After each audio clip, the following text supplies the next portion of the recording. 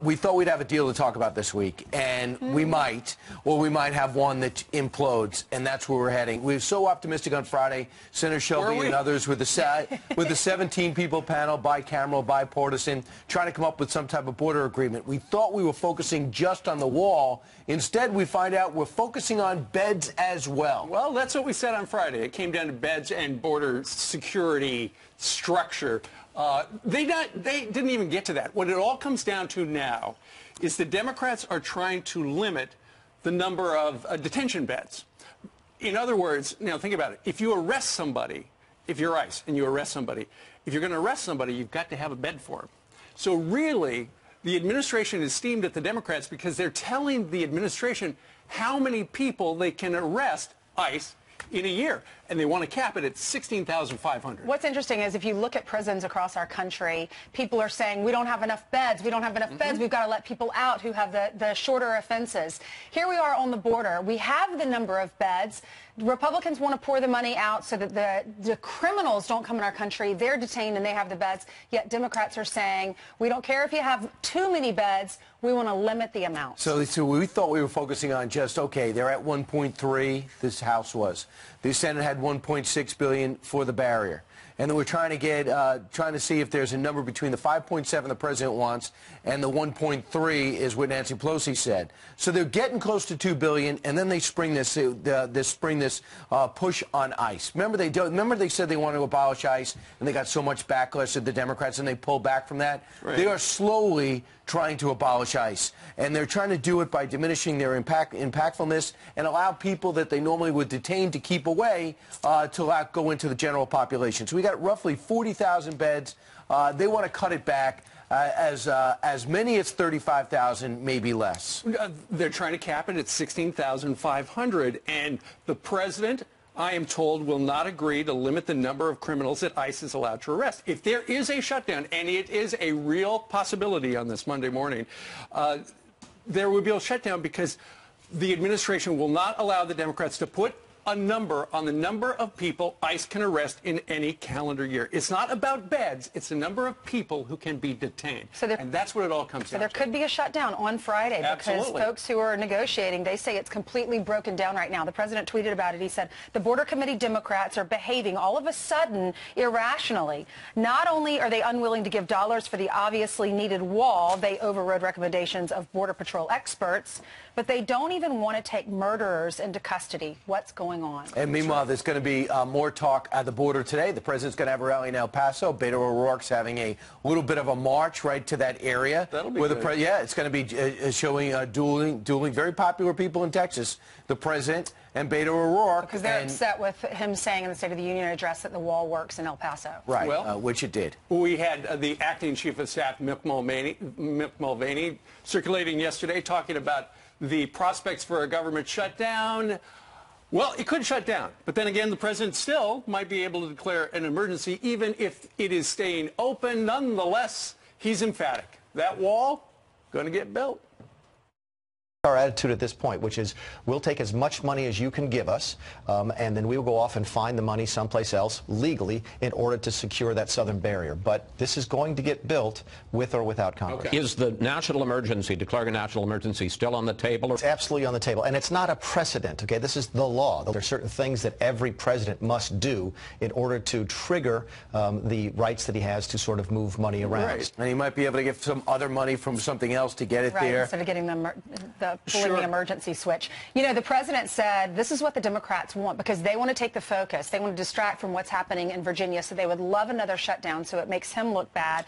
And he's saying that many people on the Democrat in the Democratic Party really want to negotiate and they want something mm -hmm. done, but he feels like the leaders in the Democratic Party are stopping That's it. Absolutely and something right. happened. Senator Mike Lee came out over the weekend and said, I talked to the president, and he essentially said, I take two billion. You get me two billion, I'm all right. Keep in mind, he hasn't really uh, between all the regulations and all the forms and getting everybody right. up to speed.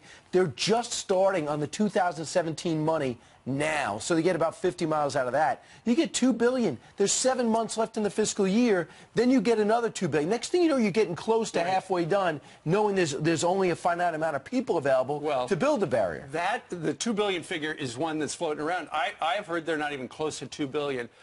Apparently, the talks have broken down. There's no suggestion when they're going to start again. Uh, and as to an agreement regarding the amount of money that would build a fence or a wall or a barrier, they didn't even take that up because this number of uh, ICE detention beds is a non-starter. Right. I It mean, seems like a the stall president will not tactic, go doesn't along it? with it. I, I just can't believe that Democrats would give up their ability to govern to Nancy Pelosi. I mean, clearly she is pulling the strings. She's making Senator Schumer look like just a, a soldier for her. All these other people in negotiations. And Tim Ryan was actually talking, I think, with Maria over the weekend. He had no idea that there was even an issue with beds at the border. So where did this come from? Why Yeah. would that be a problem? A lot of Republicans felt that way over the weekend. Oh my gosh, another stall tactic, something Right. else to bring up. With more Democrats throwing their hat into the 2020 ring, the media are really playing a central role as they try to introduce themselves to the public. Now, Elizabeth Warren announced over the weekend formally, we obviously knew that she was running, but she had to deal with a Washington Post story that brought up the whole Native American controversy again. The Post got a hold of actual handwritten uh, registration card for the Texas bar uh, this is several decades ago, in which Elizabeth Warren identified herself as an American Indian. That forced her to apologize again. Uh, and has kind of overshadowed her launch. When you think of Elizabeth Warren now, uh, rather than thinking of the longtime consumer advocate or what she's done uh, as a Massachusetts senator or her criticisms of President Trump, it is hard not to think of this whole um, fiasco, I don't think there's another word for it, uh, about her heritage, even though much of this took place a long time ago. Also running for president, another Senator Amy Klobuchar, uh, generally a well liked uh, member who is known to many of us who uh, cover the Capitol Hill in Washington. But she's had to deal with two stories, one in the Huffington Post and then one in BuzzFeed News, uh, about how she supposedly is very harsh on her staff. The thing that strikes me about these stories is all anonymous sources. It's obviously the same group of six or seven people who uh, have worked for Senator Klobuchar who don't like Amy Klobuchar. And so rather than putting their names to this, oh, because they are afraid of retaliation, uh, they've gotten two news organizations to write about how, how tough she is and how cruel she is and, and, and so forth. Uh, and e- even in those stories, the people who are willing to go on the record say they enjoyed working for Amy Klobuchar and that, and that you know, she is somebody who drives herself very hard and therefore drives her staff hard. The question has already come up would these kind of stories be written if this was a male senator who was tough on his staff? I don't know the answer to that question. I do know that it has kind of clouded her launch.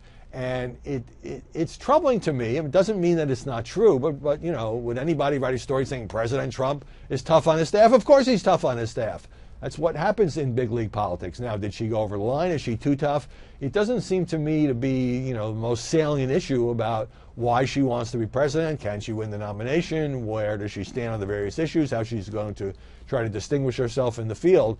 Um, but when the, the public doesn't know that much about you, those kind of stories can really um, influence how you're perceived at the beginning. And this raises a much larger question. I mean, it is no secret, and the president certainly complains about it just about every day, um, that the media as a whole have been extraordinarily tough on Donald Trump, overwhelmingly negative from the day he got into the race, and certainly uh, during his now two years as president. So, are they going to apply the same scrutiny to the Democratic candidates? Uh, and I'm not just talking here about Klobuchar Warren, but uh, Cory Booker and Kamala Harris, and it looks like Bernie Sanders is about to run, and Joe Biden if he gets in. Uh, it seems to me that you know you got to have to be tough on everyone if you want to have any claim to not just being part of an effort to stop President Trump from being reelected. And how these Democratic candidates, and there will be a lot of them, handle the media scrutiny and how they uh, try to drive the news agenda and, and, push back against criticism and try to generate positive press.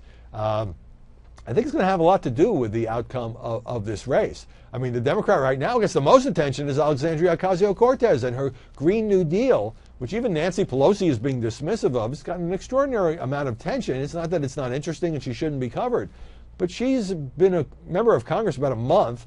This thing is never going to make it to the floor if Nancy Pelosi is giving any indication. But it's given the Republicans a very big target to shoot at because the press, you could say two things. The press builds up AOC, and she, using her Twitter feed and her uh, public comments and the video she makes, is a sort of a master uh, at generating media attention. Um, it may well be that Warren and uh, Bernie and Amy and Cory and all of them are going to be trying to run for president. But meanwhile, a lot of that spotlight is going to be deflected onto Ocasio Cortez, which might not help the 2020 contenders.